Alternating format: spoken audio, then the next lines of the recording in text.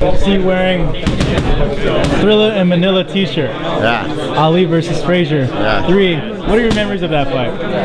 Fuck, I don't know. I've, I just watched it on. Uh, I've watched it. You know, I, I don't remember watching it. You know what I'm saying? Okay, okay.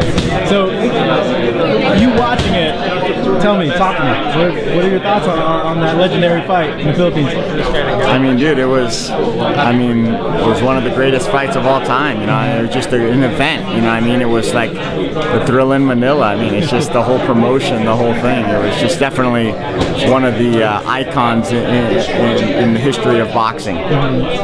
Do you feel that events like that are on the horizon for MMA and for your fight? Oh, I think so. Yeah. What do you think needs to happen in order for that type of event, that type of hype? I think it's just time. Yeah. It's, it's eventually happening. Is there any boxers that you liked growing up? Tyson, Mike Tyson. Mike Tyson. Why Mike Tyson? because he was just ferocious, man. I mean, ferocious. I mean, it was like I was always excited to watch him fight. Yeah. Is there anything that your fighters see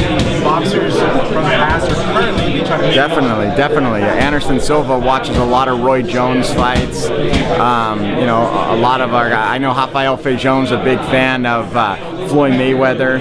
Um, guys like Pacquiao. I mean, they, they all, you know, all the all of our MMA fighters. I think all MMA fighters in general uh, realize how difficult boxing is and and how how um, how talented you have to be to to perform at that level. What about Roy Jones does Anderson? Just everything about it, though his fighting style, how smooth Well, he I is. see the, the way that Anderson's able to slip punches Yeah. with his hands down. Exactly, similar to Roy, yeah.